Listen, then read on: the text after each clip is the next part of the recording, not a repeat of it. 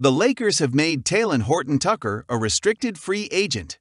Lakers extend qualifying offer to Talen Horton Tucker, making him a restricted free agent. Talen Horton Tucker is not going anywhere in free agency unless the Lakers don't want to keep him. The Los Angeles Lakers announced on Thursday that they have extended a qualifying offer to Talen Horton Tucker, making him a restricted free agent.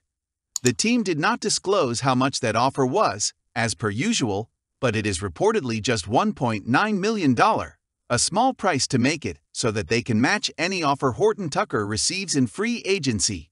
In short, it is now, essentially, up to the Lakers whether or not Horton Tucker will remain with the team or leave. They can either re sign Horton Tucker to a new contract, match a contract offer he receives from another team to keep him, let him sign somewhere else by renouncing this offer, or just not matching a contract that another team gives him.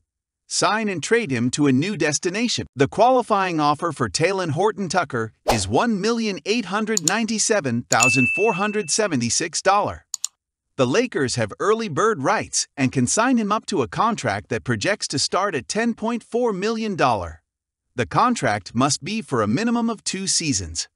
Here's what we wrote about Horton Tucker in the Lakers off-season article. Explains what happens if THT receives an offer sheet for more than what LAL can sign him for. If Horton Tucker really wants to leave, the only way he can really do so now is to accept the qualifying offer play out the year on a $1.9 million salary, and then enter unrestricted free agency in 2022. Given how much less that QO is than the hefty offers he's expected to receive coming off of a promising sophomore campaign, which saw him earn a spot in the rotation for a playoff team after barely playing as a rookie, that is implausible to the point of being almost assured not to happen. Thank you for watching. Please hit like and share our video. And if you are new to our channel, please don't forget to subscribe our channel Lakers Inside for Insights of Los Angeles Lakers.